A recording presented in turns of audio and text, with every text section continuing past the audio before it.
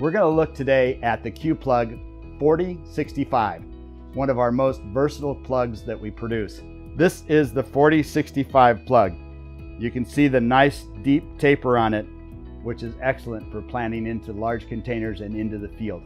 The nice thing about this size is, is it fits into a number of different types of trays. This is a deep 72 tray that is used for perennial production and also for crops that go outdoors planted in the ground. The depth of this plug gives you the ability for the roots to go down into a moisture zone in the soil.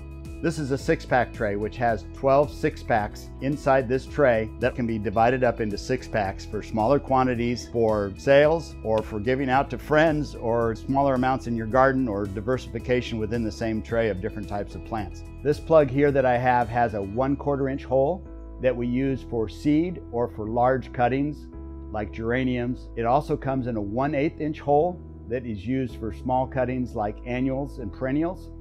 You can also get this plug in a slice that can be used for tissue culture or for transplanting bare root plants into this plug. Every tray that we do is available as a kit, which comes in a carrying tray with plugs, shrink wrap, and then we also have the option of the available 7 inch dome or even a small 2 inch dome that comes nested in the kit. If you have any questions at all, just go to our website or call us at the number at the bottom of the screen.